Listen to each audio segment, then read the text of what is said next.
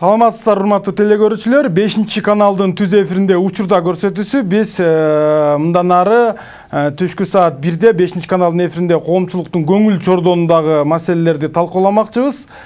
Биз бүгүн талкуулай турчу маселе кечээ өтөн бери социалдык түйүндөрдө кызуу талкууга алынып жаткан нарын районундагы кеңеш айылында салынган контейнерден салынган мектептер тууралуу бүгүн кеп кылмакчыбыз алгач биз студиянын коноктору менен тааныштырып алсак нарын облусундагы өкмөттүн ыйгарымдуу укуктуу өкүлүнүн орун басары жаркын ибраева.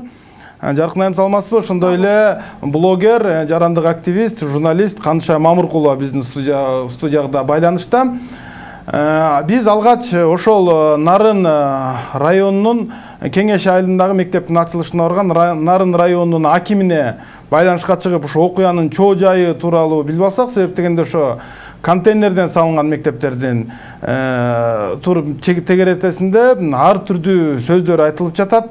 Жагымдуу дагы жагымсыз дагы сөздөр фейсбук баракчаларына жазылып атат. Биз ошо режиссердон сурансак эле ошо контейнерден салынган мектептердин сүрөттөрүн бир көргөзүп койсок алгач. Мына мектеп бул кеңеш айылында кеңеш айылындагы мектеп авариялык абалда болгонуна байланыштуу ал жерге окуганга болбойт экен. Анан окуучулар кырсыкка кабылбасын деп ушундай контейнерден ошо жергиликтүү бийлик госстрой ушу мобилдик үй деп коет экен. Мындай расмий тилде ошону алып барып ошо жаңы мектеп салынып бүткөнчөктү коюп беришкен да бирок бул нерсе коомчулуктун өтө көп нааразычылыгын жаратып азыр демилгелүү топтор түзүп кеңеш айылына мектеп салабыз дегендер дагы чыгып атышат. Биз окуянын чоо жайын билүү үчүн нарын районунун акими семетей черикбаев мырзага түз байланышка чыксак. Семетей мырза саламатсызбы? Семетей мырза саламатсызбы? Алло. Алло саламатсызбы семетей мырза? Саламат. Азыр ушу коомчулукта ушу контейнер мектеп тууралуу сиз ачылышына барган нарын районунун кеңеш айылында контейнер мектеп тууралуу коомчулукта мындай бир ар түрдүү пикирлер айтылып атат. Сиздин оюңуз ушу окуянын чоо жайын так бир расмий ошо бийликте өкүлүнөн уксак. Рахмат. Рахмат. Мен атайын маалыматты эки багытта берет элем биринчиден биздин кеңеш айылында чындыгында эки корпустан турган мектеп бар дагы бир корпусу чынында мчстен атайын заключение чыгып кирүүгө тыюу салынып калган экинчиден ошол экинчи корпусту жакшынакай ремонттоо башкагандан бери азыркы күндө иштеп атат ашкана экинчи корпуска батпаган окуучулар болуп калат ошон үчүн жанагы мобильный үй деп контейнерден мчстен биздин билим берүү министрлигинен чечим чыгып ушундай келди үчүнчүдөн биз жергиликтүү эл менен айыл өкмөтү жанагы архитектурно планировочный условия деген бар ошолорун бүтүргөн бир жыл мурда эле мамлекетибизден кыргыз өкмөтүнөн тапшырма болуп туруп биздин госстрой деп коет ошол жактан эки жүз жетимиш миң сом бөлүнүп жүз миңи каржыланып жүз жетимиш миң каржыланат жаңы мектептин проекттик сметалык проекттик сметалык документация даяр болгон ал проект сметалык документация элүү тогуз миллион сомду түзгөн азыр титульный иске киргизип тендерге жарыялоо астында турат. Погоданы эске алып быйылкы курулуш сезону бүтүп баратканын эске алып эмди жылы мектеп башталат деген чечимди күтүп атабыз буюрса а бүгүнкү күнгө чейин проект сметанын документациянын баардыгын ушул жер бөлүп берүү жергиликтүү бийликтен өкмөттөн баардык документтерди бүткөн азыр титулкага бекип жаңы мектеп башталуу астында гана турат бул экинчи экинчи маалымат анан чоо жай боюнча сурап калдыңыз чоо жай боюнча айтып берейин ошол жердеги кээ бир ата энелерден ушу контейнерлерге балдарыбызды жибербейбиз деген экинчи сентябрда билим күнүнө башталышына катыштырбайбыз деген бир кайсы бир деңгээлде маалымат чыккан үчүн райондун акими катары мен башка бир кычыраган заңгыраган мектепке барбастан ошол жерге барышым керек деп милдет көрүп эртең менен барып элге түшүндүрүү ишин он беш мүнөт жүргүздүк жыйырма мүнөт класска отуруп алып ата эне мугалимдер менен чоң класстарды киргизип эки багытта коюлду бул биринчиден окуучулардын коопсуздугун сактоо экинчиден окуу процессин токтотуу максатына жана бул убактылуу иш экенин айтып түшүндүрүп чыдап бериңиздер деп элге жакшынакай түшүндүрүп тараганбыз анан айрым журналисттер өзүңүздөргө окшогон чоң экрандар же болбосо бир башка журналистикалык каналдарды пайдалангандарын көбүңүздөр жакшы калыс көрсөтүп туура маселени коюп берип атасыздар бирок айрым кээ бир булактар муну өтө эле саясатташтырып ушул бир майдаланып абдан түшүп абройго чейин тийип аткан абдан туура эмес болуп атат буга өзү кечинде мына мен обсуждениени көрүп атам эл менен да баарлашып атабыз элдин өзү деле буга каршы болуп атат таамай маселени ушу силердин бешинчи каналда болуп дагы айтса көрсөтсө калыстап депчи а беркинде бир саясатташып бараткан жагына эл өзү кыйдырып келип каршы болуп турган мезгил семетей мырза айтсаңыз азыр коомчулукта жарандык активисттер акча чогултуп бирөө шифр беребиз бирөө кирпич беребиз бирөө цемент беребиз деп башташты да. Чын эле ошого муктажсыңарбы чын эле ошол нерсе жетпей атабы деге ошо так жооп берип койсоңуз. Ал мындай баардык нерсе биздин кыргыз республикасынын конституциясынын жана мыйзамдын алкагында жүрүш керек. Курулуш дагы мыйзам менен болуш керек. Бул ким кандай каржылайт бул? Экинчи маселе кандай каржылап ким каржылаган күнү дагы баары бир биздин госстройдун алдындагы областта биздин укш деп коет. Управление капиталдык курулуш башкармалыгы деп коет. Ошол мекеме аркылуу көзөмөлдөнүп ошол аркылуу тендер өтүп ошол мекеме аркылуу этегине чыгыш керек деп ойлойм. Ал эми кандайдыр бир деңгээлде бир таамай даана бышык демөөрчү спонсор чыга турган болсо биз аны жетекчиликке сөзсүз түрдө макулдашып мыйзам менен белгиленген тартипте иш алып барууга даярбыз. Рахмат. Ошондо жаңы мектеп качан бүтүп калат? Канча орундуу кандай шарттары бар сиздер азыр куруп? Рахмат сизге. Абдан туура суроо болду. Биз эми мындай болуп кетип атпайбызбы өзгөчө кээ бир журналисттер же болбосо каналдарда.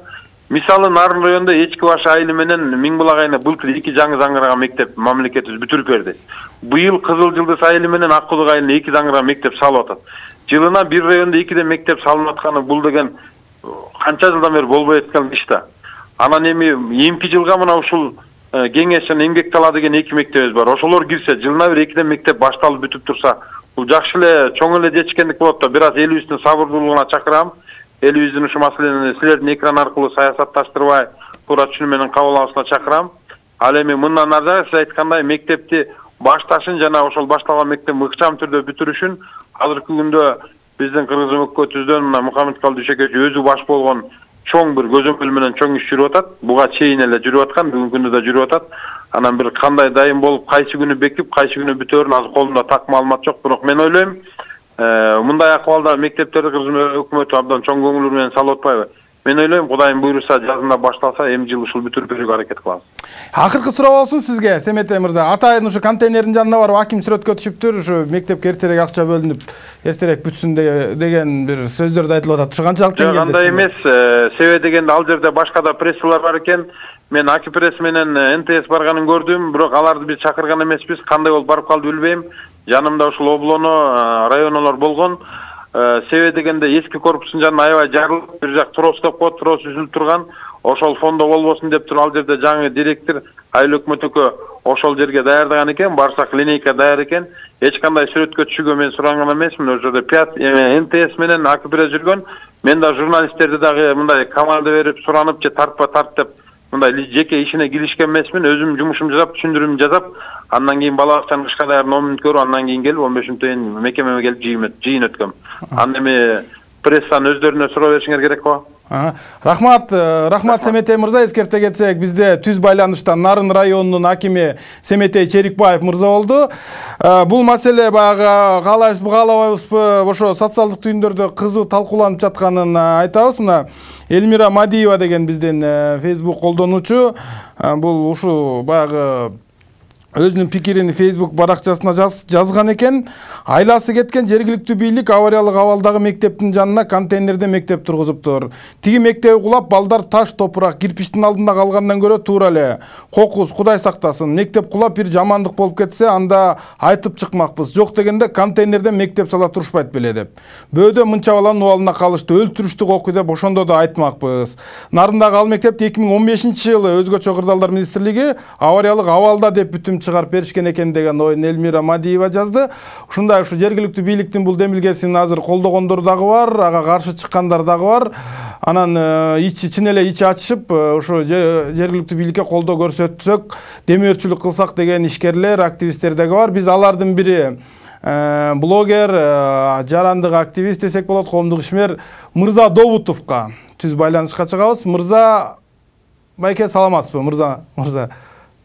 Саламатчылык сиз жакшы жана фейсбук баракчасында ушундай демилге көтөрүп азыр акча чогултуп жанагы мынча кирпич мынча шифр мынча цемент чогулду деп атасыз да ошол демилге эмнеден улам келип чыкты бул демирге кечээ өзүңөргө белгилүү болгондой нарындагы жана кеңеш айылында контейнер баардыгы талкуу жаратты талкуу жараткандан кийин мен деле колдонуучу катары жазып чыктым анан ошол жерде башталышы бул жерде жураев абдышүкүр баштап берди оштук жигит ынтымак деген партиясынан патриот жигит ошол баштап берди ал айтты жамал ырысалиевке тийиштүүбү же кандайдыр бир негизде жазды жамал досум кел баштабайлыбы өзүбүз эле деп элүү миң кирпич берди ошону анан мен көрүп туруп ошолорду колдоп туруп жаздым жазсам эл куру эмес экенбиз мына өзүңөр көрүп турасыңар азыркы кезде эң акыркысы болуп мика усеналиева аттуу кызыбыз он миң кошту ошентип башталып кетти да фейсбуктун күчү экен ушундай жакшы жөнөлгө болду деп ойлойм бүт баардыгы мыйзам чегинде болуш керек деп нарын районунун акими айтты. Эгерде мыйзам чегинде болсо силер ошо каражаттын баардыгын жана огуска же мамлекеттик курулуш агенттигине бергенге даярсыздар да өткөзүп бергенге же бир компания түзүп тендерге катышып же болбосо бир мыйзамдуу жолу бар бул нерсенин аким ошон үчүн аким да ошо аким ошентип бийликтен айтыш керек биринчиден башында айтыш керек болчу экинчиден азыр кандайдыр бир себептер менен ушинтип башталып кеткенде бул жакшы нерсе анан мыйзам бар гчп деген государственный частное партнерство деп акыркы жолу караганда жогорку кеңеш кабыл алды болуш керек адашпасам. Ошонун основаниясында биз деле мыйзамсыз салалы деген топтоо берели деген жерибиз жок мен жазып атам жигиттерге кирпичти сатып алганда ар бир сертификаты болуш керек. Цемент сатып алганда сертификат болуш керек. Проектный смета түзүлүш керек.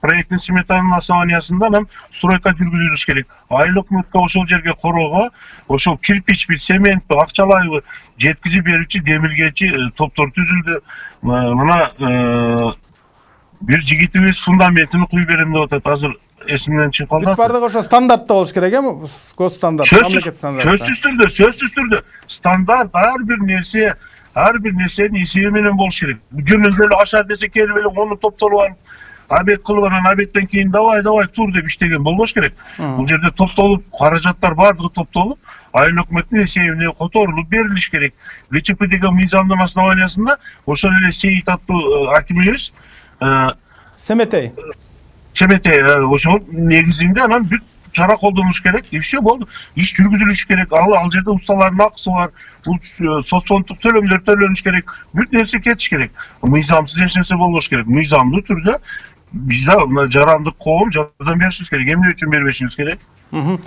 рахмат рахмат бизде учурда орусияда жүргөн мырза добутов мырза түз эфирде болду Сизге ден каалайбыз Э, ойлогон оюңуз ойлогон оюңуз ишке ашсын анда биз э, студияга кайрылсак студияга студия конокторубуз менен дагы бир жолу тааныштырып кетсем э, нарын облусундагы өкмөттүн ыйгарым укуктуу өкүлүнүн орун басары жаркын ибраева айым жана блогер активист канышай мамыркулова жаркын айым сизге биринчи суроо ушул мектеп тууралуу кабарыңыз бар беле мурда негизи ушул обул администрация ушул обул администрациянын дарегинде дагы ар түрдүү сөздөр айтылып атат эмнеге чейин сентябрга даяр- даярданышпай жайды жайлай эмне кылып жүрүштү деген дагы бир э, сындар айтылып атат да сиздердин дарегиңизге обул администрация ушул ушундай мектеп бар экен ушундай контейнерлер коюлары тууралуу кабар бар беле? Саламатсыздарбы? Биринчиден ооба бул окуу жайын бул мектепти кеңеш айылында негизи өзүңүздөр билесиздер нарын районундагы дөбөлүү айыл өкмөтүнө карайт. Дөбөлүү айыл өкмөтүндө эки айыл карайт. Бул дөбөлүү жана кеңеш алыш айылдары а, дөбөлүү айыл өкмөтүн түзөт. Бул маселе кеңеш айылында буга чейин көтөрүлгөн жылдын башында май айында көтөрүлгөн. Май айында дагы ушун көтөрүлүп балдарды каяка окутабыз мына трос үзүлүп калды дубалдар ортосу он сантиметрге чейин ачылып калды деп маселе болуп жеринде барып көрүп биздин жетекчиликке чейин барып келип а, май айында а, гүлмира карина өзү келип көрүп кеткен жеринде анан окууну жыйынтыктайлы дагы аракет кылалык жайлы деп жана семетей мырзабекович айтып кеткендей жерлери бөлүнүп жергиликтүү бийликтин колунан эмне иш келсе ошонун баары аткарылды. Андан сырткары биз билесиздер июнь менен августта биз жаңы окуу жылына даярдыктарды көрүп жер жерлерин текшерүү жанагындай аныктоо мониторинг иштери жүргүзүлөт. Ошол жерде да көрүп эмне кылсак деп анан ушуга ал өзү айыл кичинекей болгондуктан башка социалдык объектилер жок болгонуна байланыштуу. Жанагы үйлөргө дагы ошо бош үйлөр жок болуп окуталы десек анан ошондуктан эң биринчиси ошо мчстин заключениясы бар. Балдар биздики анан бир кырсык болуп кетпесин деп анан жеринде баардык тарап сүйлөшүп анан ошо министрлик мчске кайрылып анан мчс ушу мобилдик үйлөрдү берген. Анан бул эч кандай ачылыш эмес баягы биздер билгендей эле билим берүү күнүндө экинчи сентябрдагы мектептерге график боюнча бөлүнүп алып ар бирибиз ар кайсы мектептерге барганбыз. Анан нарын районунун акими ошол жерге барып жана түшүндүрүү иштерин жүргүзүп балдар эми окуп турсун окууну өзгүлтүүгө учуратпайлык деп айтканбыз анткени обуздун аймагында дагы мындай авариялык мектептер көп жыл сайын экиден бүтүп атканына карабай мына быйыл деле беш мектепти кудай буюрса жылдын аягына чейин беребиз деп турабыз. Жаңы мектептерди өкмөт берет деп турат. Бирок ошолордун арасында дагы мына ушундай айласыз иштен ушинтип чыгып аткан дагы убакыт мезгилдер болуп атат.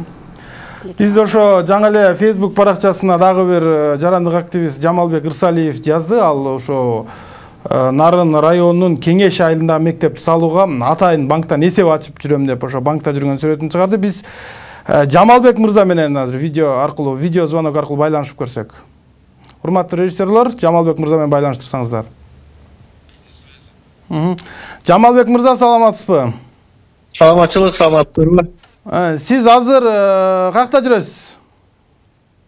Мен банкта жүрөм банкта эсеп ачтым эсеп счетун жаңы ошо так ошо кеңеш айылындагы мектепке эсеп ачтыңыз э? Ооба ал эсепке кимдер кандай акча бере алат анан ал эсепке түшкөн акчаны кандай жол менен кеңеш айылына жеткизип бересиңер маселе мындай да. бул жерде азыр баардыгы мыйзам чегинде болуш керек. Мыйзамдуу түрдө салына турган мектептин өзүнүн сметасы проектиси болсо керек да негизинен а бирок эгерде ошол мектептин сметасы менен проектиси жок боло турган болсо жанагы төрт контейнердин ордуна төрт комната болсо дагы ошол мектептин баягы капитальный мектеп салганга каражат топтого алышыбыз керек учурда канча акча мындай бар баягы счетко түшө элек бирок мындай беребиз дегендердин канча чогулуп калды ушу бир күн ичинде? Бул маселе мындай да азыр акчалай беребиз дегендер жазып атышат аябай көп эле болуп кетти бирок качан келип счетко түшкөндөн кийин айтпасак монча акча болду мындай кирпич мындай цемент жетти дебесек азыр эми баягы жардам берем берем дей бергендердин баарыныкын айтып койгон болсок биз эртеңки күнү келбей калсак алкыч болуп калбашыбыз керек да элдин алдында ошол счетко түшкөндөн кийин анан тагын айталы бирок баягы беребиз дегендер өтө эле көп болуп атат эми бул баарыбызга белгилүү болгондой өлкө аймагында бул сыяктуу мектептер бирөө эмес да туурабы бирөөлөр боз үйдө окуп аткандар бар чатырда окуп аткандар бар. Анан баардыгы эле эртең сиздерге келсе кандай болуп калат бизге да акча бергиле чындыгында буга чейин деле мындай маселелер көтөрүлүп жүргөн бул жерде жанагы контейнерден салынган мектепке шарды байлап алып анан акимдин өзү барып ачылыш жасап аткандыгынын өзүндө болуп калды да. Бул мамлекеттик бийликтин өкүлү болгондон кийин элге түшүндүрүү иштерин жүргүзүп проектти бүткүчө смета бюджеттен чечилгиче ушу азырынча убактылуу мындай кылып окуп туруңуздар анан кийин мектеп салынат деген бир жакшы түшүндүрүү иштерин жүргүзүш керек эле да өзү анан негизги түшүп аткан каражатты дагы баягы мамлекет сала турган болгондон кийин сөзсүз түрдө тендер жарыялап туруп анан салат да туурабы ошол ошол суроолорду дагы чечишибиз керек да жеринен анан жамал эскерте кетсек бизде түз байланышта жарандык активист коомдук ишмер жамалбек ырсалиев мырза болду жамал мырза сиздин ишиңизге ийгилик каалайбыз ар дайым эле ушундай эл кызматында жүрөңүз анан акыркы суроо берели ушул маселе келгенде баягы жарандык жарандар аябагандай бир активдүүлүгүн көргөзүп жатышат да ошол тууралуу да бир айта кетсеңиз эми чындыгында бул өтө активисттердин эмес жалпы кыргыз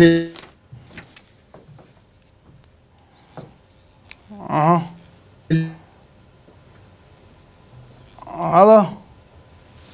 Ыраазычылык билдиришибиз керек да. Себеби мектеп курбаган мектеп курбаган коом мектеп курбаган коом келечекте түрмө курганга даяр эмне көңүл бөлүп ушундай жакшынакай иш кылалы деп баардыгы колдон бутун алып жардам берип аткан ар бир кыргыздын ар бир атууна баш ийип таазим кылып рахмат айтып кетебиз рахмат чоң рахмат. Түз байланышта жамалбек ырсалиев болду биз кайрадан студиядагы конокторубузга кайрылып келсек бизде байланышта канышай мамыркулова бар. Канышай эже канышай эже саламатсызбы сиз үчүн жакшы кабар жакшы кабар деп айтсак болобу же кандай деп айтсак болот билим берүү жана илим министри гүлмира кудайбердиева бүгүн кызматынан бошотулуптур кудайбердиева кызматтан кетип кудайбердиеванын ордуна миң кудайбердиева келсе дагы бул маселелер чечилбейт ошондуктан кудайбердиеванын кызматтан кетип атабы келип атабы мисалы мен окшогон кыргызстан жарандарына эч кандай бирок сиз акыркы күндөрү ушул министрге аябаганда көп сын пикирлерди айтып келгенсиз окуу китептери тууралуу жана башка маселелер боюнча э окуу китептери боюнча мен калыс туруп атам себеби окуу китептери тууралуу э, сын пикир айткандар дагы э, анан кудайбердиеваны жактап аткан топ дагы эки тарап тең ушул окуу китептери боюнча э, сүңгүп кирип ичине маселени көргөн эмес. Ошондуктан мен фейсбук тармагына ушул маселе боюнча каалагандарга маек берем деп чыкканым ошол. Бул албетте башка жагдайда. Анан кудайбердиевага бекем ден соолук эми кызматта болот да. Мгм. А кеңеш айылындагы мектеп боюнча сиздин оюңузду айта кетсеңиз негизи ушундай контейнерге кеңеш айылындагы мектеп боюнча айта кетсек айланайындар кеңеш айылындагы мектеп кыргыз бийлигинин кыргыз мамлекетинин бет баардасын жакшылап сейрип койду биз жылтырап элетке барып аймактарды өнүктүрүү санариптештирүү жылы дегенибиз менен ошо контейнерлештирүү жылы эле болуп калганыбызды биз өзүбүз тастыктап койдук биринчи сентябрь күнү президент мына бир дагы кыргыз тилдүү классы жок мектепти ачып атат экинчи сентябрь күнү кедей кембагалдардын балдары үчүн контейнерди түшүндүрүү иштерин аким жасап атат бул деген уят. Тактап айтканда жогорку кеңеш отурсун тиги сенсордук унитазга кайра кайра тендер жарыялап. Өкмөт болсо дагы ары чоюп бери чоюп албай чоюп жеткире албай жүрсүн. Чиновниктерди биз түшүнүп жатабыз. Алар баягы кызматын кызмат деген кызмат өйдө карап эч нерсе дейилбейт. Бирок мага окшогон ээн баш блогерлерби журналисттерби биз айтабыз эгер биз айтып чыкпасак мен ошо токтосун шамбетов деген журналистке абдан ыраазымын. Эгер ошол көтөрүп чыкпаса кеңеште мынтип балдар кыйналып атканын эч ким билбей калмак. Ошондуктан райондун акими журналисттерге таарынычын кичине азыраак төгүш керек да. Керек болсо жергиликтүү бийликтин дагы баардык жердин ушул маселесин ушул журналисттер аркылуу билип атат коомчулук. Рахмат. Ошо расмий маалымат окуп коеюн анда. Билим берүү жана илим министри гүлмира кудайбердиева кызматынан бошотулду. Тиешелүү жарлыкка президент сооронбай жээнбеков кол койгонун өлкө башчысынын басма сөз кызматы кабарлады. Анда алынган маалыматка ылайык кудайбердиева кызматтан кетүү боюнча өзү арыз жазган. Кудайбердиева эки миң он алтынчы жылдан бери ошо билим берүү министри катары эмгектенип келген ал башкарып турган учурда басылып чыккан окуу китебиндеги айрым документтерде катарлар тендерге байланыштуу бир топ сын пикирлер айтылып келген. Акыркы жолу нарын районунун кеңеш айылындагы окуучулардын контейнерде окуп жатышы ушул окуянын жеткен чеги болду окшойт. Ошентип мына билим берүү жана илим министри гүлмира кудайбердиева кызматынан кетүү боюнча расмий маалымат келип түштү мага. Эми кайрадан ушул нарын районундагы кеңеш айылынындагы мектеп тууралуу келсек бул тууралуу ошо фейсбукта дагы ар түрдүү сөздөр айтылып атат. Мына жанагы экел жарандык активисттердин сунушуна жана акча чогултуп берели өкмөткө жардам берели деген сунушка да каршы чыгып аткан баягы социалдык сеттин колдонуучулар бар. Мисалы ошо тынчтык алтымышев деген мырза мынтип жазган. Кызыктай сунушуңар бар. Эмнеге өкмөт жыл сайын көпкөндөрдүн тоюн өткөрүш керек да? Ансыз да бюджетти толтуруп аткан ишкерлер мектеп салып бериши керек дейт эмнеге парламент жыл сайын унитаз жаңыртыш керек дагы ансыз да миңдеген элге иш берген ишкерлер мектеп салыш керек. Коррупционерлер ушерптерин төлөбөй камакта жатсын бекер тамак жеп караларды багып дейт өкмөт паракор милиция прокурор сотторго бекер үй салып берип атат эмнеге кайрадан эле биздин окуучулар контейнерде окуш керек деген оюн айткан бирок ага карабастан ошол баягы мектеп салабыз колдон келген жардамды беребиз дегендер бар. Алардын бири кечээ отуз миң сом берем деген биздин белгилүү айымдарыбыздын бири шоу вумен дана абдыбекова айым. Бизде түз эфирде. Дана айым саламатсызбы? Саламатсыңарбы сиз эмнеден улам мына отуз миң сом бергиңиз келип атат бул мектеп. Биринчиден биз баягы биринчи сентябрь күнү экинчи сентябрь күнү жаңылышам. Ошол россия федерациясынын жардамы менен газпром компаниясы мыкты мектеп салып берген экен мен дагы балдарым азыр мектеп окуучусу болгондон кийин мен дагы кызыктар болдум бирок айына жыйырма миң жыйырма беш миң деген контракт а, түрүндө окуйт экенине мен кичине ичим ооруду. Себеби а, кыргызстандын бюджетинде деги эле адамдардын өзүнүн э, жашоо турмушуна айына жыйырма миң сом дегенди эсептеп көрүңүздөрчү тогуз айга сен канча төлөйсүң? Университеттен дагы э, өтө бийик баада коюшкан экен. Анысы го жакшы колунда барлар окуй берсин. Бирок ошол эле мен дагы өзүм нарындык болгондуктан анан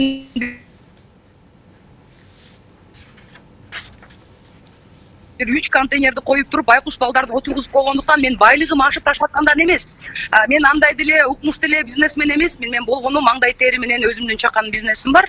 А, жөн гана а, кайдыгер карап тура алган жокмун жөн гана кайдыгер карап тура алган жокмун ошон үчүн а, балким бир айдабы балким эки айдабы тапкан каражатымды мен өзүмдүн дагы салымымды кошоюн деген жакшы ой менен гана кайдыгер карабастан кыргызстандын келечеги балдар деп атабыз кыргызстандын келечеги мына өсүп жаткан муун деп атабыз ошолордун бир темир э, контейнерде окушуна мен жөн эле карап тура албайм. Ошол себептен өзүмдүн салымымды кошоюн деген жакшы ниетте турам. Колуман келсе андан көбүн дагы бергенге даярмын. Мен ойлойм биздин кыргызстанда мамлекет тараптан эмес жөн гана жеке бизнес кылып аткан мыкты жигиттерибиз бар мыкты патриот кыздарыбыз бар уулдарыбыз бар. Баардыгыбыз көп түкүрсө көл болот дегендей эле баарыбыз көп түкүрсө көл болот кылсак биз кыска мөөнөттүн ичинде жакшынакай мектеп салып беребиз деп мен ишенем ишендим рахмат рахмат э, түз байланышта э, шоумен белгилүү айымдарыбыздын бири блогер э, жарандык активист десек да болот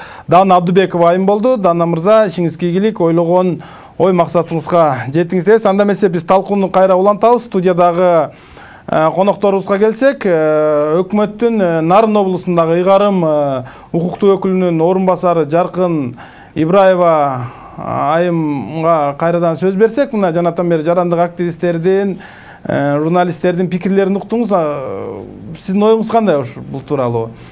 Кайсы эмне деген баягы ойго келип калдыңыз? Булар туура айтып атабы же балким кээ бир жерден аша чаап кетип жатышабы? Э, эми биздин мамлекетте ар ким өзүнүн эркин пикирин айтууга укуктуу Э, мен ал бир ар пикирлерди э, сыйлайм. Э, анан албетте ар ким э, ар бир айтып аткан колдонуучулар биздин кыргыздын бир мыкты күйүп аткан адамдар кайдыгер карап айтылбай айтып аткандыгы бирок биз ушул маселени эки миң он бешинчи жылдан бери көтөрүп келе жатканбыз ушул айылдагы.